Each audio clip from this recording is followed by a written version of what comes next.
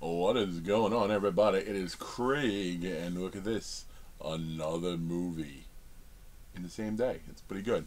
You might notice change of background, change slightly. We've got luggage. We got some formal wear. Got a wedding tomorrow. A good friend of mine. I'm also officiating it, so that's always a lot of fun.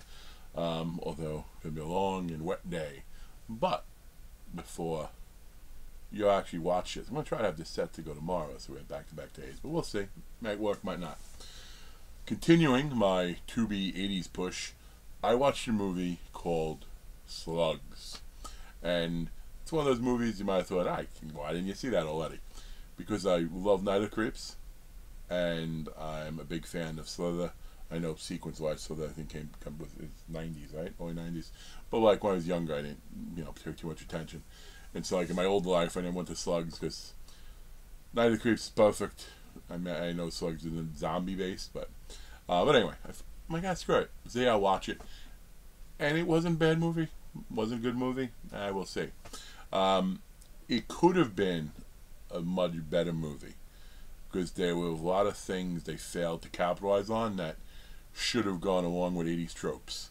Like there was a a Karen before we used that term and her dog I almost was positive we were going to see them both killed. We didn't, unless it was done sort of off screen or mentioned.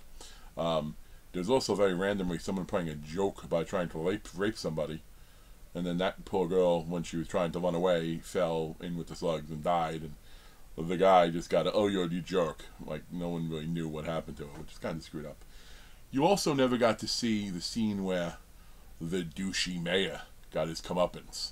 Like there was never even any proof that the mayor uh, believed there was this slug epidemic happening, which that's the big problem. At the end, they do this whole thing. They blow up the sewers, kill the slugs, uh, all but one, obviously. Very Night of the Creeps, esque ending anyway. Um, no zombies. The stuff that the movie had going for it, and if they just nailed some of those '80s tropes a little bit better, I would be giving this a more positive review. I am going to. We'll see. You'll see. Uh, like their kills were good. You know, the one kill you had um, somebody who, because he ate a slug, the slug parasites in the slug were in him and they're toxic stuff, and you literally saw like his head explode and like not not pop off his shoulders, but eyes, everything leak out, become a skeleton. Uh, and there was also another good one with uh with a couple after they had sex, the girl got up, slugs everywhere. She's getting gaining alive. The guy's trying to escape being alive. Again, good kill for the type of movie it is. You need that kill in there. Um, the ending, though, again with them exploding everything. One of the one of the two, mm, you know, the secondary hero guy who was the sewer guy, helping who everything is, he died because they were trying to create an, another way out of the area they were in. And when they opened up this door, all this water came rushing, and then he got thrown in with the water, and then the slugs got him. The problem is, when the guy went to save him, like in the water, he like just then realized, hey, there's a giant pipe up there. I'll hop on it. They could have just done that, never opened the thing. He would never got wet. They could have just crawled across, climbed up. He would have lived. So that's really kind of screwed up. Um, the other thing is too, there was never any proof of anybody in with any power really knowing the slug thing was happening. You know, like so it's kind of like all of a sudden this guy, this crazy science teacher, and somebody sewer guy who's now gone, decide to do something to blow up this, you know, essentially the sewers in the town. Um, at least the one area of town because it was built on a toxic waste thing that had opened up. Yet,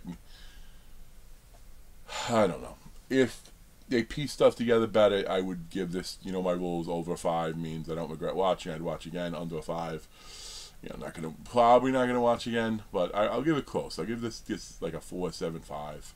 Um, you know, maybe if it's on TV, I don't have the control. I'll keep it on, but it had potential. Like this is this is type 80s movie. I, would like to see how they could redo it. Like, but you know what? I take that back because they'd use all CGI and it would not look good. But anyway, folks, we're up to movie 14, so you know we'll see. I'm hoping to get about five more panged out next week. That'll make the number a little more on par where I wanted it to be around this time. We'll see. But anyway, suggestions and comments. I will get to movies anyone suggests, I promise. Have a good one, everybody. Peace.